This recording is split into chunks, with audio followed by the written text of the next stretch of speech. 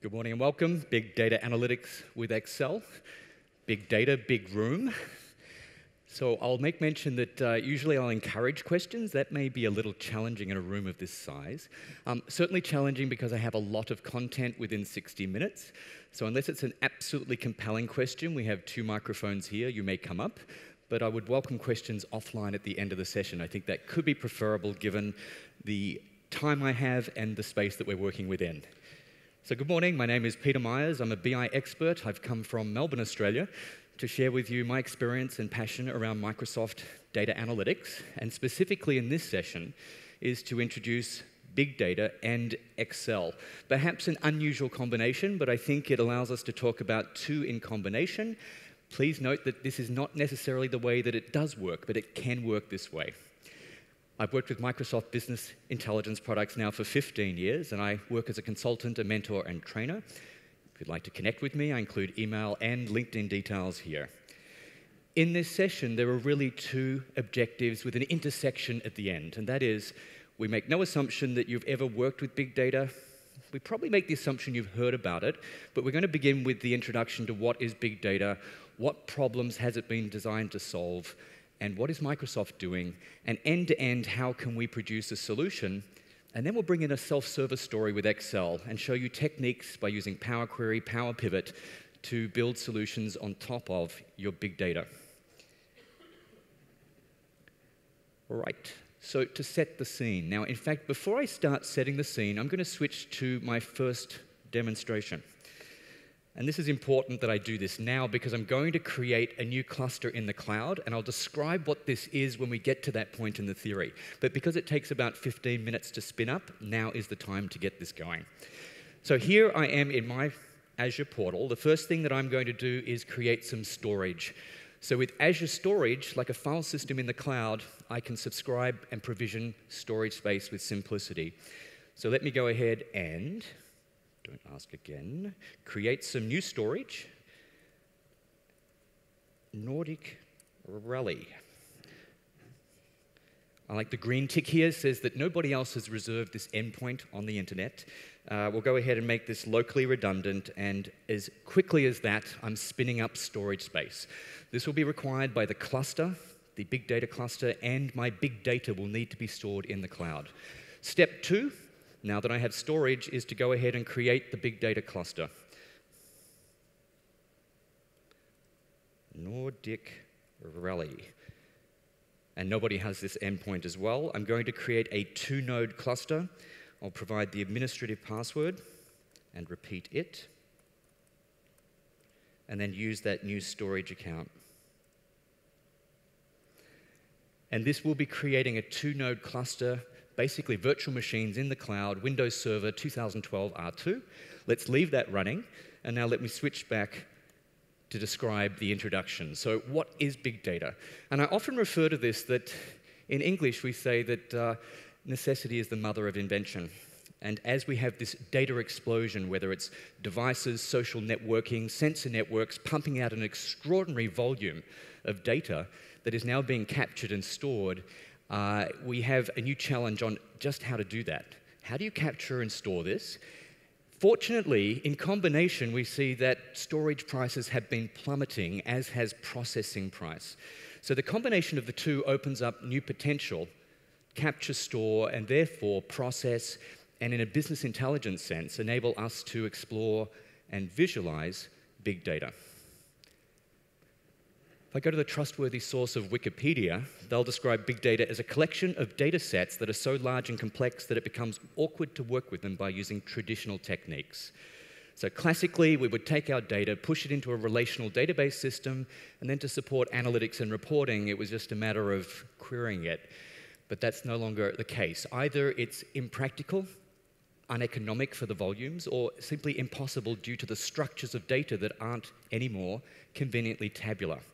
The difficulties can include capturing, storing, searching, sharing, and specific to this presentation, the challenge of how we can analyze and visualize big data. You'll typically hear about big data described in terms of V's, and I'm going to stick with the three V's being volume, being variety, and being velocity. So it's pretty obvious when you think about the terminology big data that does imply large volumes of data.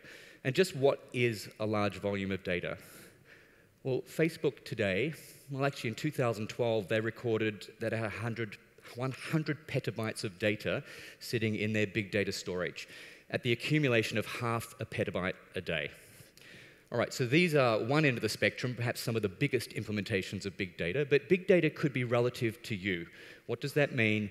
And in comparison to the traditional approach, if I used, for example, SQL Server, big data could just mean that it's becoming impractical for SQL Server to store or inefficient for it to process without me spending a lot more money on licenses to make it improve. And that could be then the tipping point for you that big data for you just means that it's now more sensible to store it in a different way and process it in a different way. And we'll explore that here in this topic. Not all data is conveniently tabular, which is a new challenge for the database professionals. Gone are the days where we can just insert into columns of a table. So when we look at data beyond um, structured data in text files, we might have um, text data, tweets, status updates in Facebook, uh, binary data, images. There's an array of data out there that can no longer be conveniently simply stored in SQL Server. And sure, there's an XML data type, there's sparse columns, there's file streaming, uh, but this pushes a product like SQL Server beyond its limits. Velocity, I think this one's obvious that if we have big volumes of data, it does imply a high rate of insert. All right, so the other challenge might be capturing data at high velocity and then storing that appropriately. Interesting to plot then variety and velocity, that these systems, your classic line of business applications and the databases that support these, um, note that this isn't a problem that requires a fix. There is no need to think that you must re-architect and redesign these to become a new storage and processing approach. Leave them be. Moving up in size, perhaps to the terabytes, and, and, SQL Server will comfortably work with this volume of data, but this might be where you assess a tipping point that according to the way that we store and query this data, maybe, just maybe, it's more economic to do this differently rather than the traditional relational approach. Certainly, when we move up to the petabyte range with Yahoo, Google, Facebook's as obvious, and note that uh, as of 2013, half of the Fortune 500 companies are using Hadoop and big data distributions. For these data sets, large data sets or clickstream, weather, text, image data, this is certainly where big data as a new approach has been used to target. So where there is a need, there is a solution, and that's what we'll introduce here. Now I'm just going to check on that cluster to make sure and we can see here that it's still processing, and that's as I'd expect. It would be disastrous to my series of demos if that wasn't going to work. What big data, the capture and processing of big data allows us to do is respond differently and to perhaps a new set of questions. When it comes to social analytics, we could now ask questions like, what's the social sentiment? What do people feel about our product? So let's imagine that Microsoft, with their release of Power BI as just one topic, might want to assess what the market feels about the product. And not just the market, we would like to define the market in terms of demographic attributes, maybe uh, geogra geographic attributes, gender, age groups. And so some analyst at Microsoft would be burdened with the task of answering this question what do people feel? And we would like a response relatively soon. So doing a survey and a phone survey is not quite the approach that would happen here. And when you think now of the data sources available due to social analytics, for this example, we've got tweets that we could assess, we have Facebook likes and status updates, we have blogs. So there's a vast array of data out there that holds value should you be able to identify, capture, appropriately store, and then process. So this is, in basic and fundamental terms, how you might solve that problem. Now, it's interesting to note um, a lot of people have Facebook accounts. By show of hands in the room, who here has? Maybe easier to say who doesn't have a Facebook account. Okay, so I would suggest here that that's 10 or 15% of the room doesn't, and I'm part of that group for, for a number of reasons. How much do you pay a month to benefit from using Facebook to share your images, to share your status updates with the friends and colleagues? How much do you pay? Zero, zero, zero. Hold on. Isn't Facebook a highly valued company? In which case, where is the value in this company if they don't charge for their services? Can you appreciate that you are, in fact, a free source of labor, whereby you're very happy to share who you are, what you do, the photographs that you've taken? And I, I guess it's a bit of a trade off that you get a service in response, but certainly the data that you make available to Facebook is owned by Facebook. Certainly, they will not disclose privacy details about who you are. But what they will do is make this data available to an organization like Microsoft that have this interesting question to understand what people feel about Power BI. Microsoft can then approach Facebook and request information about any mentions of Power BI. And what they could retrieve then is a set of data that might have status updates, and it may also, and it should also, have accompanying information about who you are not to the detail of name, phone number, and address, but certainly to your gender, your location, your age group. And this is incredibly useful to solve this type of problem. So imagine that there is a mass of data available not just from Facebook, but LinkedIn, Twitter, and so on. We would then prepare this data, we would consolidate it, and then we'd have the task of somehow inferring sentiment from what you have to say. And so, where there is a need, there's an invention. And data mining and machine learning techniques have, with a high degree of accuracy today, been able to translate text into a score. I really love Power BI, plus 10. I really don't love Power BI. The single inclusion of that single word, or in fact two words, uh, results in a minus 10, and perhaps zero if it's a neutral assessment. So at this point, our massive data could be analyzed. We could filter group by filter by Denmark, group by gender, and then give me the average of sentiment score, and we've arrived at the answer to what people feel about Power BI. And essentially, that's how it works today. But the new challenge is that data is scattered in different formats and potentially large volumes, so this could well be solved through big data techniques. A live data feed. How do I optimize my services based on patterns of weather, etc.? If you consider the extraordinary number of sensors there today, monitoring traffic, congestion, weather, and a need for us to assess what's happening with relative speed, again, this is likely to be a big data problem solved through big data techniques. Lastly, when it comes to advanced analytics, there's been a number of sessions here at this event that have talked about how you can mine data interesting to discover patterns and, and uh, where you trust those patterns to be reliable and accurate, you can then perform predictions. So big data allows us to perform mining across big sets of data. It's now appropriate to introduce this cute little yellow elephant. So wherever you see this elephant, he signifies Hadoop, which is in fact an open source set of projects designed to solve big data problems. Um, the story is that Doug Cutter in 2005, a pioneering developer, solving this problem of big data, his son had a toy yellow elephant named Hadoop. And I guess the fit might be that Hadoop, being a big animal, was there to solve big data problems. So it is, in fact, a set of open source projects that can transform commodity, not special hardware, into a service. And it does this through distribution. The first is that you need to be able to capture and store your big data. So HDFS, the Hadoop Distributed File System, is the ability for you to store your data across potentially hundreds of servers. So if you think of a single disk array and using RAID 5 and striping across, providing us perhaps good performance, but also redundancy should there be some failure with a single disk. It's the same concept, but scaled across multiple servers. So as you add files to HDFS, they are striped across, typically 64 or 128 megabyte blocks across by default three times, which means should any server go down, automatically that data can be reconstructed. So that's key. Your data must be protected, and it's achieved with HDFS. Now, when you are ready, you can then use distributed processing, whereby the process is delivered down to the data itself. And through jobs and task scheduling, the big data is then processed in parallel. And so this is, in essence, what can be achieved with Hadoop.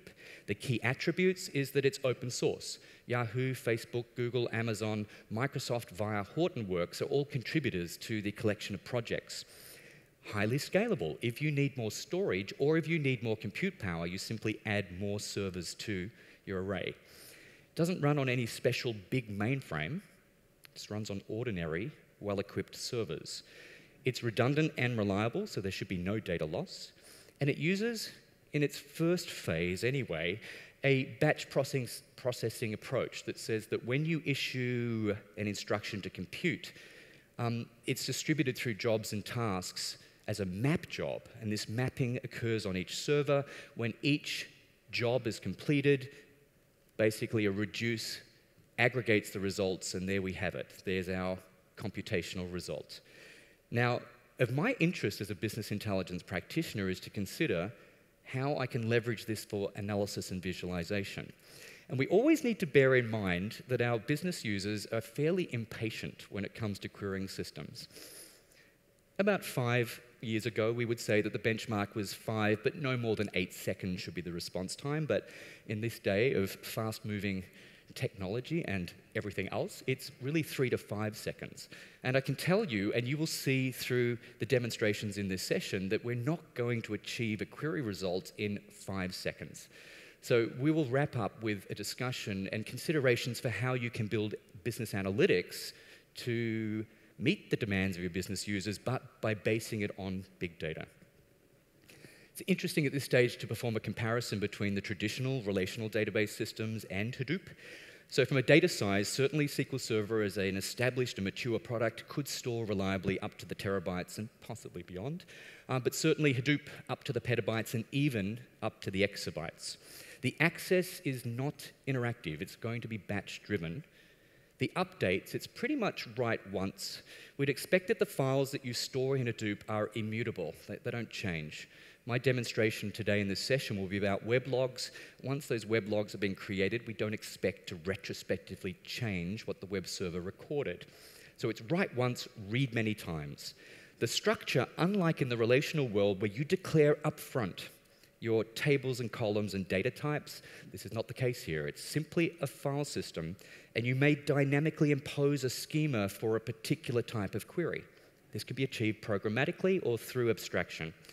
Integrity, well, there's not really true support for the ACID properties, so consistency, transactional isolation doesn't really exist to the file system, so it's low. There are no foreign keys either. What is interesting and what makes it stand apart, so certainly the volume, but when it comes to the scaling, you may well be aware as a DBA that if you want to half the query response time on a relational engine, you do not simply double the processing power. It is not linear.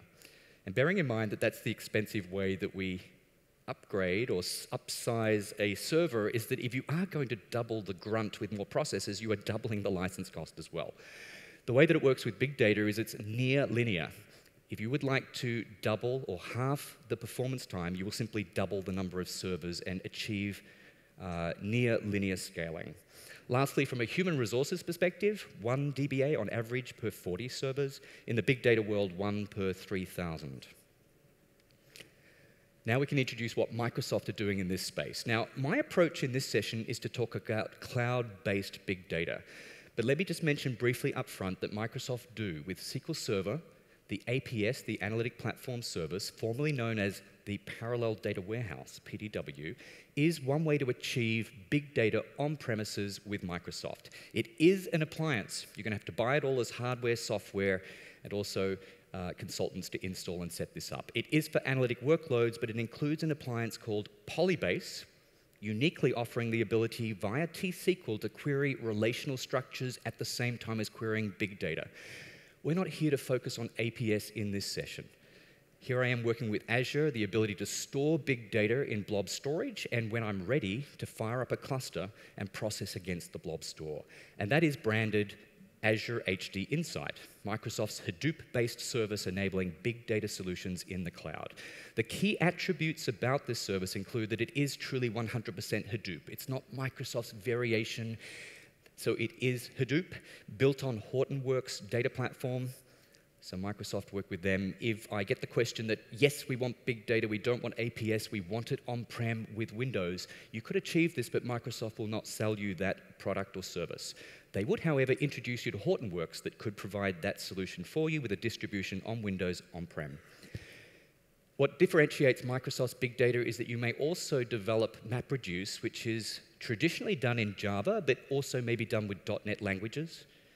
It can be automated with PowerShell and the command line. So my first demonstrating, demonstration creating the cluster could have been automated through PowerShell script. And lastly, and as I'll demonstrate, a unique capability is that we can, by using Excel and the Power add-ins, connect to, query, and visualize big data. So how does it work? Now, before I switch to this discussion, we're still processing. This is fine.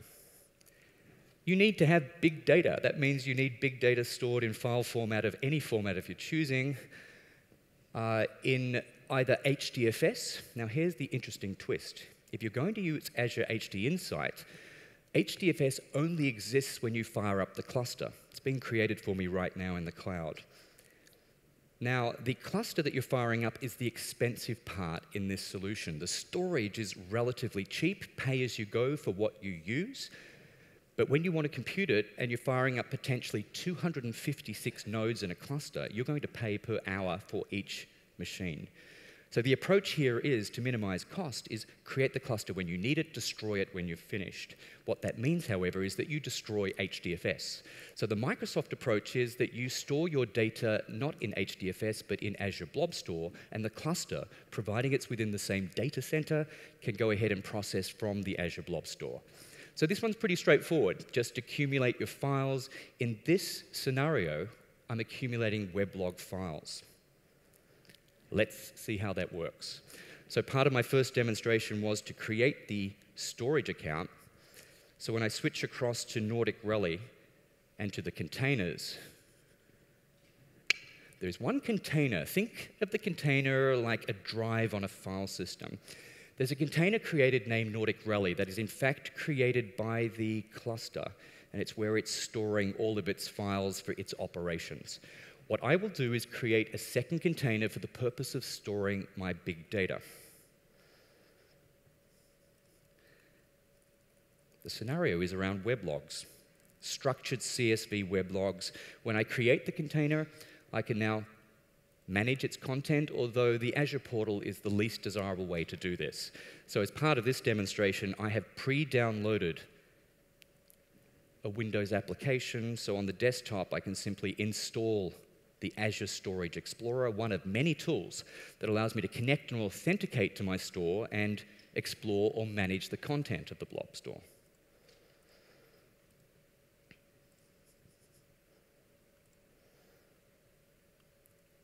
And here it is. Adding an account, the name is Nordic Rally. And not anybody can connect via the internet and manage our account, so we have a key which you would clearly keep private, and you would share this with those that have a need to, excuse me, storage, Nordic Rally, manage the access keys, and the primary access key, when I copy it, can then be applied to authenticate against the store. Test the access, looking good, click Save, and now in this Explorer, I can navigate between the containers so I'll show you here in the Nordic Rally, there's an accumulation of files that are being there uh, set up for the cluster, and the weblog container that I've just created is, of course, empty. So let me upload my big data representing weblog files. Very, very simplistic. So up front, this is not truly big data. But let me assure you, in a 60-minute session, we would never get through the processing if it truly was big data. So what I have here are four files representing the yearly accumulation of weblog data. So you'll see here that the largest file is five megabytes. No, this is truly not big data, so I ask you to use your imagination to some degree. By clicking open, I am now uploading those files. Let's explore the content of the very first one. A double click. Let's view the content as text. And let me introduce you to what this data means. All right, so each request is being logged in terms of an IP address. We have the customer authentication available to us because there are multiple requests within the one session. We can see there's a multi-session. We have date and timestamp, and then we have the request that's coming in. Now, notably, if they're requesting the browse.aspx, we also have what product they requested. And then finally, we have the status and the number of bytes transferred. So the type of questions we could ask of this data would be who, when, what product had been browsed. And that's the solution that I'll finish up with in PowerPivot based on this data in the cloud. Fingers crossed when I switch across that that cluster has been created. All right, creation of cluster is, cre uh, is complete. So there's one other thing that I'd like to do to enable remote access. I'm going to run a pig command shortly. I'm going to go into the cluster configuration and I'll enable remote access. And that will take a couple of moments because it's going to connect to the head node of the cluster and it's going to set up an account and enable remote desktop access.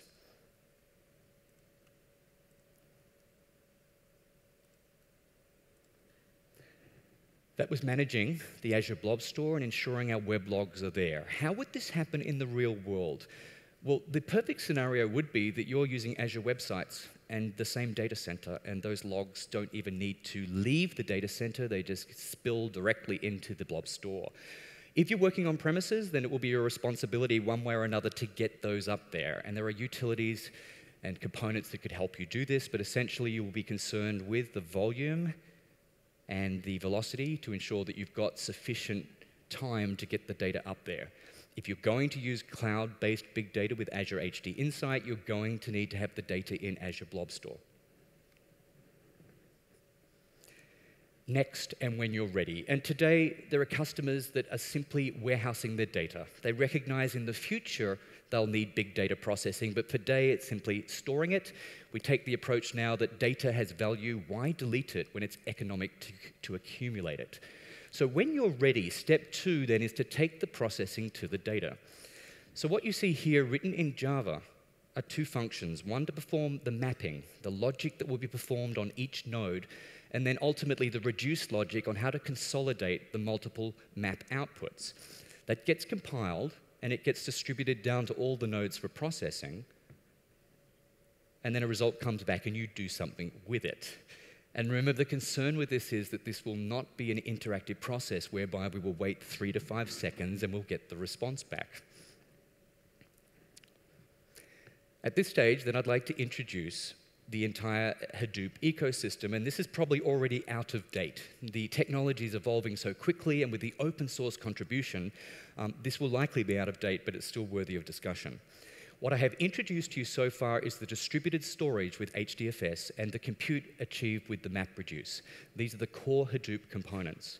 Now, we do not expect BI developers and DBAs to write Java logic to MapReduce to get responses from their data. So where there is a need, there is an invention. So let's introduce that these data processing modules, scripting achieved with PIG. So this is procedural language allowing you to transform data into a more desirable state. You can think of it like an ETL tool, and in fact, if you're familiar with Power Query, there are many similarities. The Power Query achieves the acquisition, filtering, and preparation of data through a series of steps that iteratively refine to your end goal. That's precisely what Pig does. There is no need to write Java, it will do it on your behalf. The next one of relevance to us today also will be Hive. So Hive enables us to use SQL-like structures in terms of tables and query expressions to then query in a very comfortable and familiar way. hcatalog there is for sparse data and, and particular processing of it. There are packages that have been contributed to support graphing with Pegasus, statistical processing with R Hadoop. Machine learning has its own modules with Mahout. Mahout, interestingly enough, is the Hindi word for elephant trainer. Next, Microsoft adds in their unique capabilities, including PowerShell to automate the entire big data deployment management. C Sharp and other .NET languages can be used to write MapReduce instead of Java. And then from a data integration scenario, and I'll demonstrate today that ODBC connectivity via a driver on the desktop, I'm going to enable a query result to be retrieved into a Power Pivot model. Sqoop can be used to efficiently load or export data to from SQL Server. And so this opens up the opportunity to work with big data and SQL Server manage event driven processing, and of particular relevance to this session would be business intelligence, with a self service flavor today using Power add ins to query and to load big data results into data models. To complete the picture, there's Oozie for pipeline workflow, there's NoSQL database with HBase, there's also the event pipeline with Flume. So there's utilities and modules that can assist you with uh, event processing, log file management, and then you've got all of the infrastructure there for Azure and its integration with the uh, Azure portal and other services. And finally, we'll complete the diagram with uh, APS, that's Microsoft's on-prem appliance with Polybase supporting the query of both big data and analytic tables. Very, very colorful ecosystem. I'm sure it's out of date because things are just evolving so quickly. So Spark is the new interest point at the moment. And so stay tuned to see what evolution there is, that when there's a need, there will be an invention.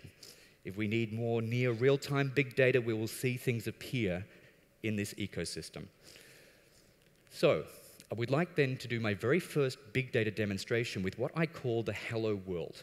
In programming, the first output you do is hello world. I think in the big data world, the appropriate one would be a very simple word count.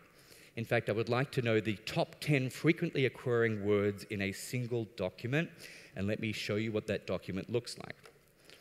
So here in the Azure Blob storage, in the Nordic Rally container, um, I'm going to do a filtered search on the keyword example. And as part of the cluster setup, it installs some examples like this davinci.txt. And by double clicking and viewing it as text, it's simply a document that uh, apparently is a translation of Leonardo da Vinci's notebook. Our question is to understand the 10 most frequently occurring words. And I'm going to solve this not by writing Java, but by using pig. So I have a snippet here. And let me just highlight this that what this is going to do into variable A is load that text file. Into B, it's going to break it into words. Into C, it's going to group by each individual word and then enumerate into D each word with its count statistic. Then into E, it's going to sort in descending frequency order. And then into F, it will limit to the first 10. And then finally, the store now, that store is going to kick off a whole series of MapReduce logic to achieve that outcome. So, I think, as you well appreciate, that's a reasonably straightforward thing to achieve for a database developer. So, there's a complete library, and user defined functions can also be developed to enable this type of data processing. Let me copy, switch back to the portal, and now I will connect using remote desktop to the head node of the cluster.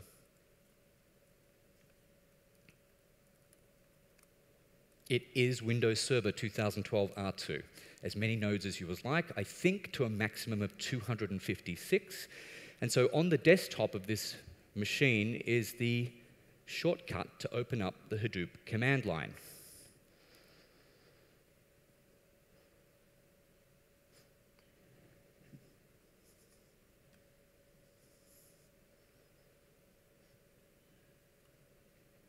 And here we have it. So let me just maximize the font size.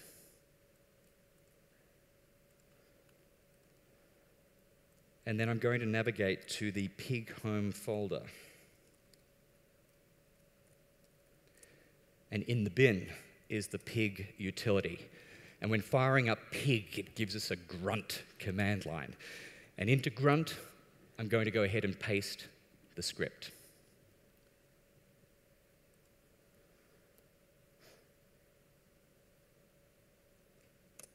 And now when I press enter, that store is firing off MapReduce across the two nodes of my cluster. Jobs and tasks are firing off all over the place in order to process our request for the top 10 frequently occurring words. Now, for a file that is about 1.33 megabytes in size, this really isn't a problem to be solved with big data.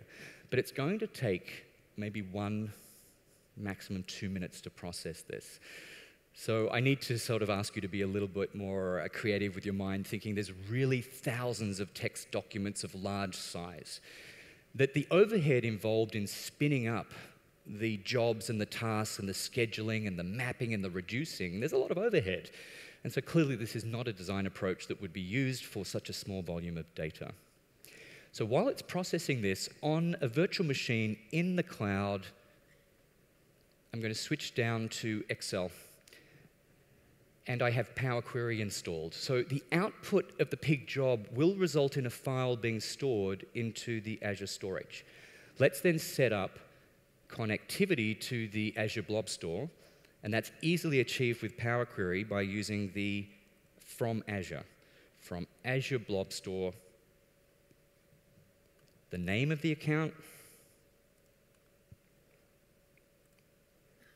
Okay, so for my storage account on the dashboard, you'll find that there are endpoints for the different types of stores. So for the blob store, I simply copy the endpoint.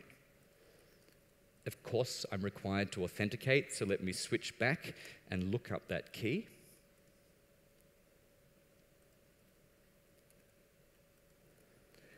And then what Power Query can do is for an individual container, which would be my Nordic Rally container, is you can fire off a query against it. And each row that is returned here represents a single file. The columns represent attributes that describe the file. switching back to the cluster. So here in the command window, we should see the occasional statistic pop up telling us how complete the processing is. So be aware that the latency here can be managed for Pig by having this automated. You could run via a scheduler, maybe the SQL Server agent could run a PowerShell script that creates the cluster against your Azure Blob Store and performs processing the output would be sent to Azure Blob Store, and then it would automate the destruction of the cluster so that when you arrive tomorrow morning, by 6 a.m., this processing was complete. And then you can connect using a tool like Power Query to query the results.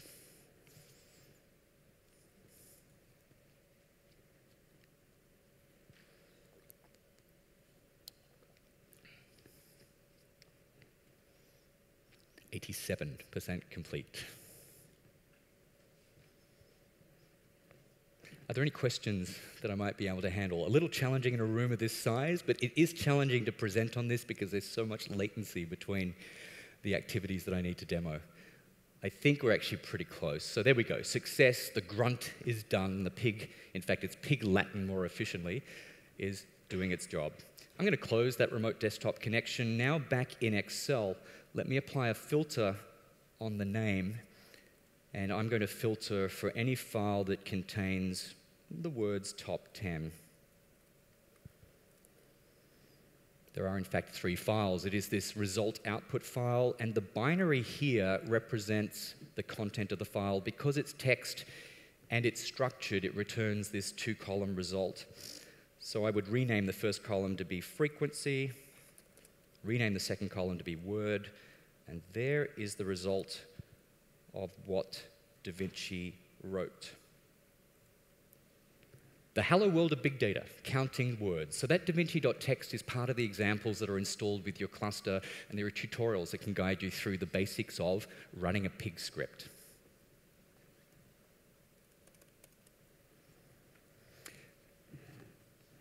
From a business intelligence perspective, delivering corporate business analytics the mature and accepted techniques today is that we capture operational data, but we ETL and load this into a data warehouse and perform analytics on top. Of course, this does not change. But when we consider in an e commerce scenario that there is ambient data, that there are these logs being generated, and there is value also in the logs, as we've seen customer details, timestamps, products that are being browsed. So, beyond the traditional data warehousing approach that shouldn't need to change, what do we do with these log files? And perhaps today you are capturing them, you might be distilling some information from them, ETLing some of that data, and then simply trashing them.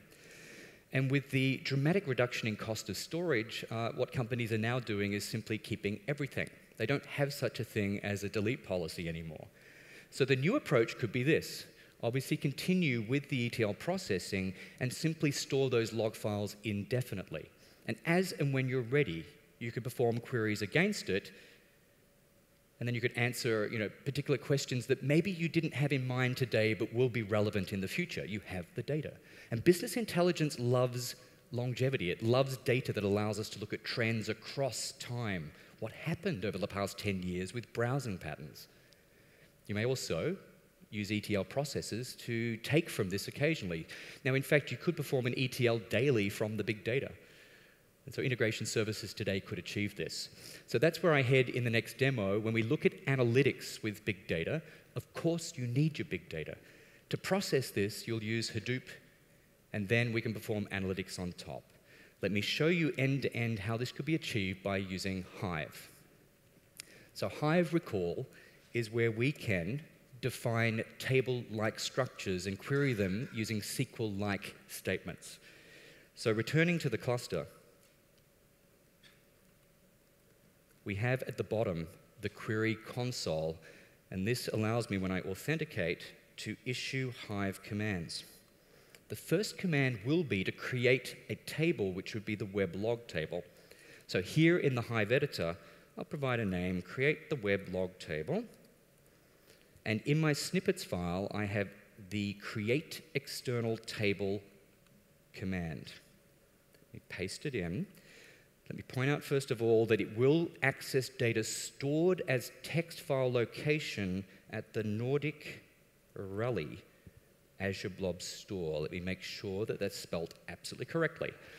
So this is the association between the cluster and the location of the files that it'll be processing. Here we're describing the structure of the files. So for classic CSV, this is sufficient. And then we're creating what's known as an external table. It's not a real table that's storing data. It's a description declaring an interface to the files that you have in that container. So obviously it's important that all files in that container have the same structure submit. This will take about 10 seconds to declare and store metadata describing a table now known as weblog.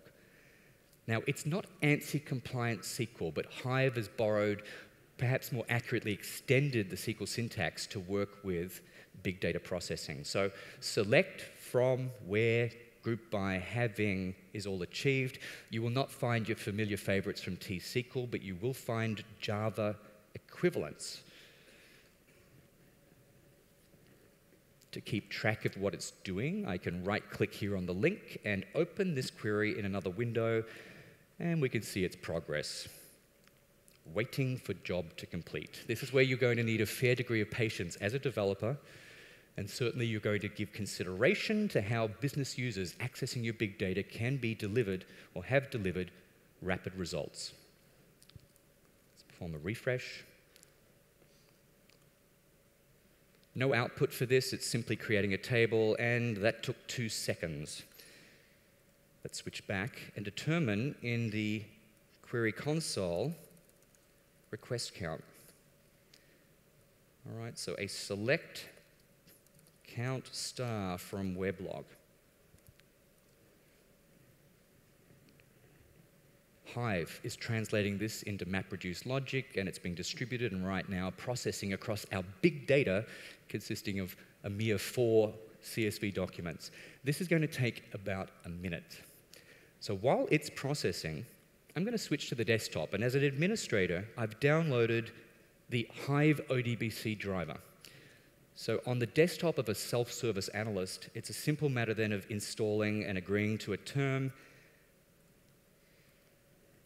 and that provides the Hive driver.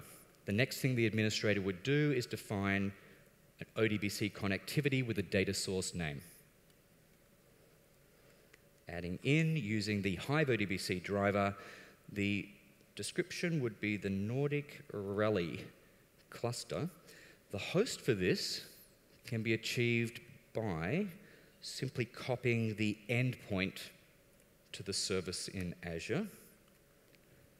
The defaults are all good. Note that it's using secure communication. And then I put in the credentials, in this case of the administrator, and we go ahead and test.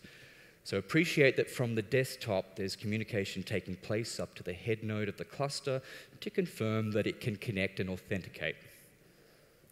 In the meantime, we'll switch across to the Hive editor, and we'll take a look at the progress of this query.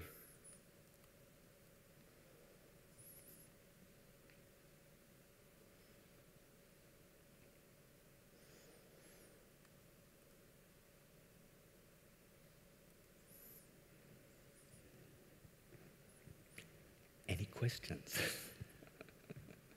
this could be another 15 or 30 seconds, and my tap dancing isn't terribly good, so I'm not going to start with a dance routine.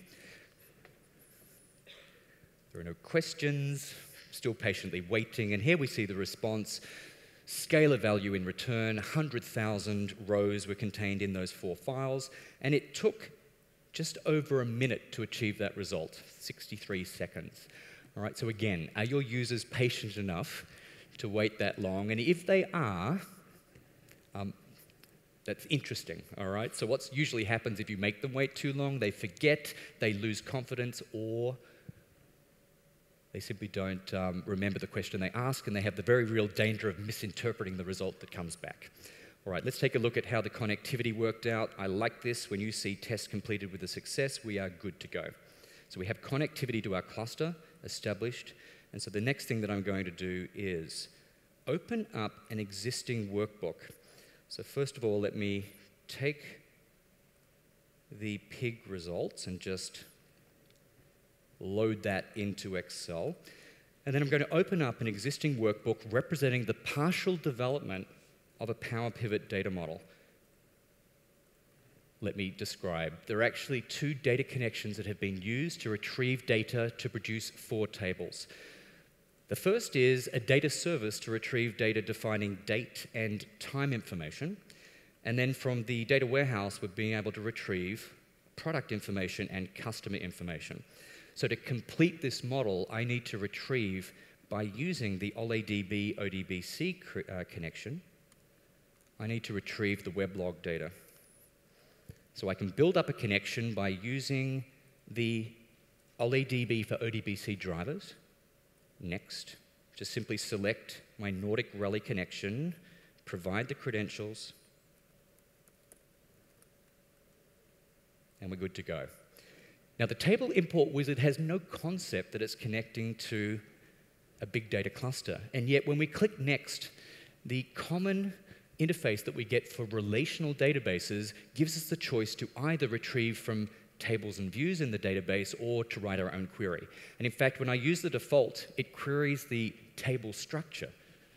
And it comes back and says, well, there are actually three. The first and the third are, in fact, system, and our weblog table could be retrieved here. I'm not going to source it direct. I will, in fact, produce my weblog table based on a Hive QL query from here. So let me describe that what it's going to do from our weblog table and using a where clause that's only interested in records that have browsed to the browse.aspx page and that were successful with a result of 200, brings in three columns and uses the substring to extract the product ID. Finish. Now it's remarkable to consider what's taking place now. From the desktop, Power Pivot with its table import wizard is using the configuration of a data source name to connect to a cloud service to send the Hive QL up, and then the map reduce under the covers is distributing logic in Java across potentially 256 nodes of a cluster. And then very patiently, we're sitting here, maybe going grabbing a cup of coffee, two or three cups of coffee, and then eventually the result's going to flow back down. And when cached in memory, we've overcome the latency issue. And that's the key to building visualizations and analytics on top of big data is that traditional BI applies. We would suggest to you that big data is just another data source but needs to be treated a little bit differently because of the latencies that are concerned. That would mean pre-processing in advance of user queries. That could mean integration services could ETL from this very patiently in the middle of the night, and the fact tables would be loaded by the morning. It could mean that we pre-cache into cubes or into tabular models. This is a self-service demonstration because it's easy, but I would typically see this as a corporate solution, analysis services, tabular project, multidimensional project sort of, by the way. Multidimensional only works with OLEDB sources, so the Hive ODBC is not supported. But if you don't have a lot of volumes of data, you could create a linked table in SQL Server that does the connectivity, and then you could process cubes from the linked server. Reporting services could also achieve this too. Directly using the ODBC driver, you could use caching or rather snapshotting in reporting services to pre-process and capture the data and provide high-performance reporting results from, in this case, a Hive query. What we tend to talk about then is if you have big data, and especially if we represent millions or perhaps billions of requests that have been logged, we want to make that big data smaller data that is suitable for the human to analyze. So don't overlook the potential with HiveQL to do group by and having. I'm not interested in every individual request, but summarize at a time granularity what has happened with the requests and then load that in for analysis. So I see the results are flowing down now. The compute has completed, result flowing from cloud down to my desktop, now being cached in memory. The rest of the activity then is just classic Power Pivot. So in fact, I would like to switch before I complete this to an important task that I ask you not to forget, and that is that when you're finished with the compute power, you should destroy the cluster. I learnt this the hard way. The hard way was I got a credit card bill the next month for a large amount of money. Unfortunately, Microsoft were lenient given that I was presenting at one of their conferences, and so I did not have to pay. But it reinforces the point that storage is relatively cheap, but the compute power, again, depending on the number of nodes you fire up, and of course, time, could be expensive, but certainly cheaper than what you probably achieve by hosting your own data center on premises. Now, in fact, I won't delete it just yet. I've got a new part of the demo that I've just remembered. So to complete this, it's simply drag and drop. Account relates to customer. Product relates to product. The date and time key um, needs to be transformed because I need a date key and a time key. So that's a simple calculated column, or in fact, two. So a calculated column here to translate that date and time into an integer value, year multiplied by 10,000, add the month multiplied by 100, and add the day number. And that should be date key. And for the time key, it's the hour multiplied by 100 plus the minute. And now with those keys, I can form a relationship to the other two tables to perform date and time filtering and grouping.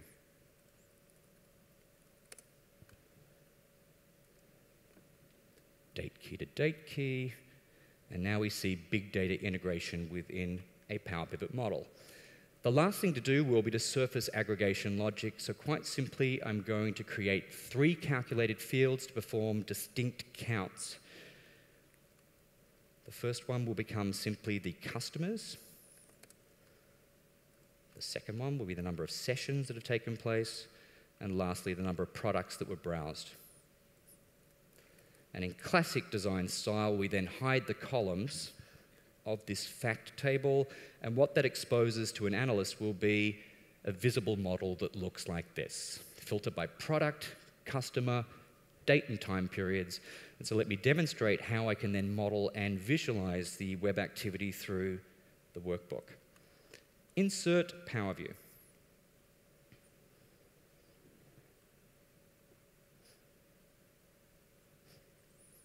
This becomes my web log analysis.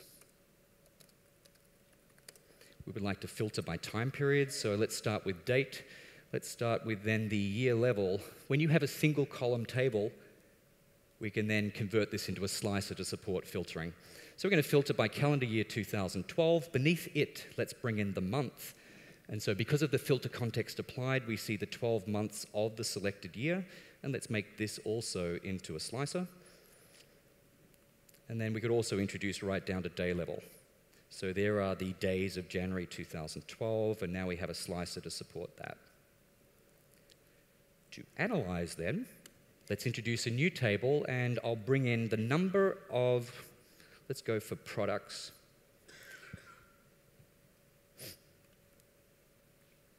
And because we have geographic data, I'm going to use mapping to show where people were browsing for what type of product. So let's bring in then that we have uh, the number of products, and from product I can describe by category or maybe model. So we'll use color to display model. Why don't I see any data? Hmm, I'm expecting maybe February. Hmm, maybe a different year. 2011, 2012. Am I doing something obviously wrong? What's missing? Look, thank you. Obviously, right, location. So in my customer dimension or table, I have a hierarchy here, which is the customers, which drills from. Thank you. Note this, we need to communicate with the service and send up detail for geocoding. Let's let that happen. And now the ability to drill in by double clicking Australia, there we see state level browsing down to my home state of Victoria. I can see what's going on right down to the city level. Man, that's achieved because my customer dimension has geographic details, a bit of sneaky thing going on here.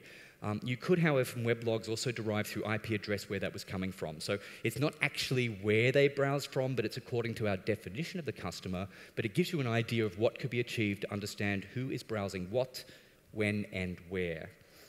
Um, I want to complete one other demo that I just picked up the other day with the introduction in Power Query to allow ODBC connectivity, we can now create a connection where that's strange. ODBC, that's better. DSN equals Nordic Rally. And then I could paste in that same query, and you could fire off the Hive query now by using ODBC with Power Query. Now, it will want to know credentials, and Power Query can now achieve Hive querying through the same data source name. That's going to take about 60 seconds to run.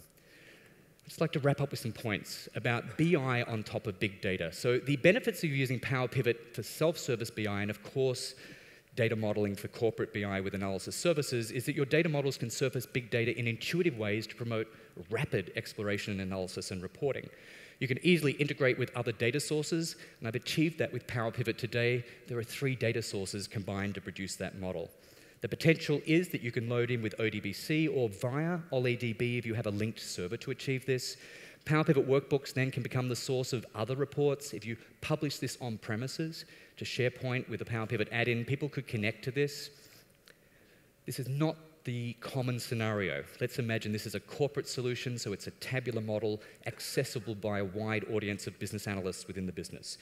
Do consider when producing modeling on top of big data that you may not have the volume of memory for a tabular project to store the big data. That's where we make big data small data. The workarounds could be to minimize the data by retrieving a smaller time period, or decreasing the dimensionality, or increasing the granularity with a group by and statistical aggregation. Or do a sample. Give me 10% of the big data, and we will multiply the results by 10 to give an approximate of what it could be. But as demonstrated, once that big data result is loaded and cached in memory, as is the case for Power Pivot, you can deliver high-speed results that satisfy your users within three to five seconds. So in summary for this session, I hope that I've introduced the fundamentals and the rationale behind big data, that it refers to a new scenario that you have volume, variety, velocity, and traditional techniques aren't going to help you. If they can help you, they may be impractical or uneconomic. We've covered that Hadoop has core components for distributed storage and distributed processing. In Microsoft's implementation with cloud-based big data, that's a little different. It means that your data really needs for persistency to be stored in Azure Blob Store. Fire up the cluster, pay for it when you need it, destroy the cluster when you don't. You've observed firsthand that big data queries often involve latency and significant latency, so you need to manage this appropriately. And we'd like you to think of big data as just another source of data, and you would handle it appropriately by using caching techniques within your BI layer. Let me wrap up with the last demonstration, which is to destroy that cluster. So here for Hadoop, I simply come in and delete and confirm, and the virtual machines, as I speak, are being destroyed, and the charge has stopped. From a resources perspective, there are a couple of sites here of interest to start your exploration of what Microsoft Big Data can do for you. I often get the question about how can I learn about this?